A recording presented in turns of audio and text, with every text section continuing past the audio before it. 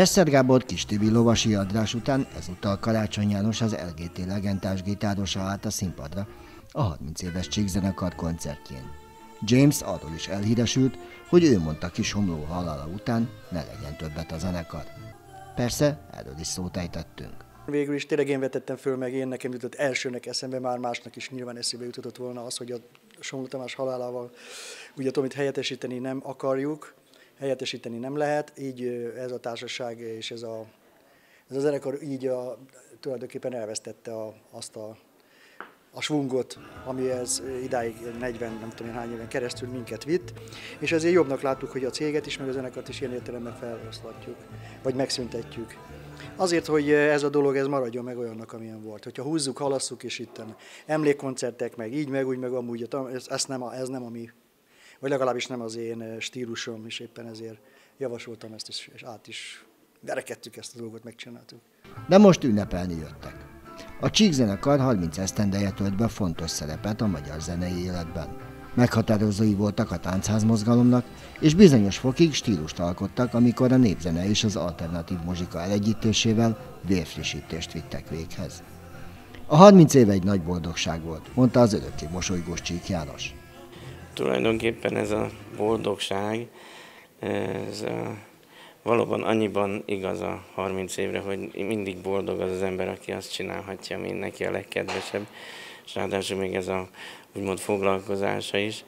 Én azt hiszem, hogy ez így már önmagában boldogság, de ez a boldogság, ez más valon is lehet érteni, mert ha azoknak, akiknek muzsikálunk örömöket, örömteli perceket, tényleg boldogságot tudunk okozni, akkor most ez mindenkinek a boldogság. Mi is még fiatalan, lelkesen, boldogan neki látva dolgoknak, nagyon szépeket, jókat akarva, szinte az útunk elején voltunk, és nem, nem is ilyen feladataink voltak, mint mostanság, hiszen akkor még meg kellett tanulni mindent arról, hogy ez hogy is működik, nem csak a, a színpadi dolgokra gondolok, hanem a zeneanyagok, a régi idős öregeknek a jó tapasztalatait, zenei tudását próbálni, megtanulni, utánozni. Nagyon sok minden a tanulásról szólt, és aztán az átadásáról ennek a dolognak. Úgyhogy más volt a világ sok szempontból, már akkor is átalakult 1988-ban politikailag, és egyáltalán a társadalom teljesen átalakulóban volt, tehát egy teljesen új úgymond környezetben kellett lenni.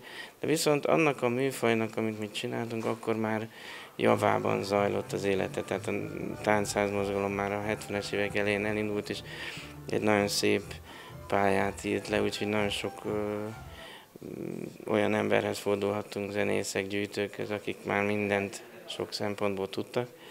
Úgyhogy az nem egy elveszett időszak volt.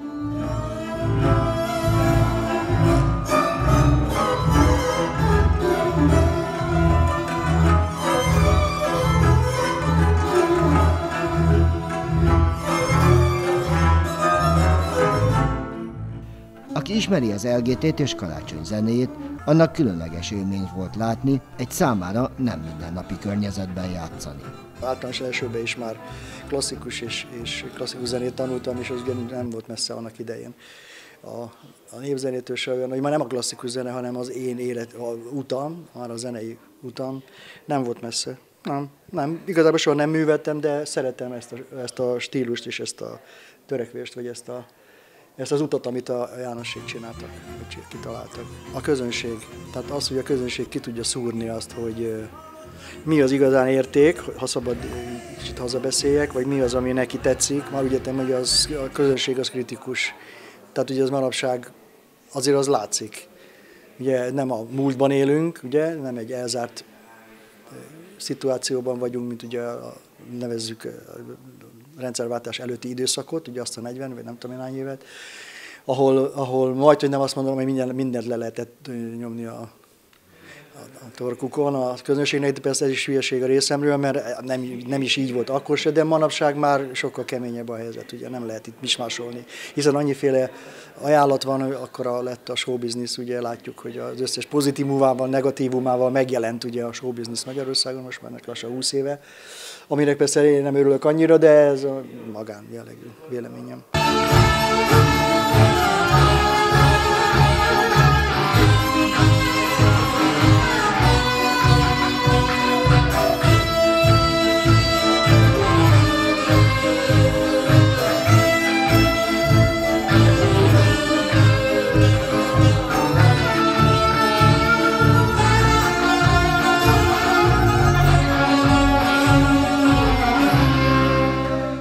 Csík János új feladatokról beszélt, hiszen azok az idős adatközlők, akiktől tanulni lehetett az autentikus népzenét, és ezt a fajta életérzést már lassan az égi zenekart erősítik.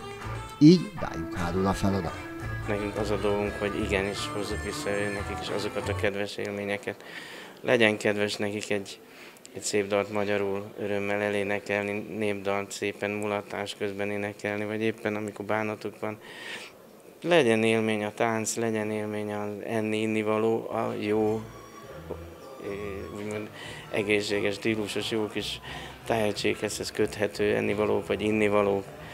Tehát legyenek igényesek, legyen, legyen fontos nekik az, hogy büszkék legyenek arra, hogy ők hová valók, mi az, amire a kultúrájukra, főleg most a magyar kultúrára gondolok, büszkék lehetnek. Ha ezt mi át tudjuk adni és továbbítani tudjuk, és pont a népzene igazi kincsét beleötvöz ebbe az igyekezetbe, akkor tesszük legjobban a dolgokat.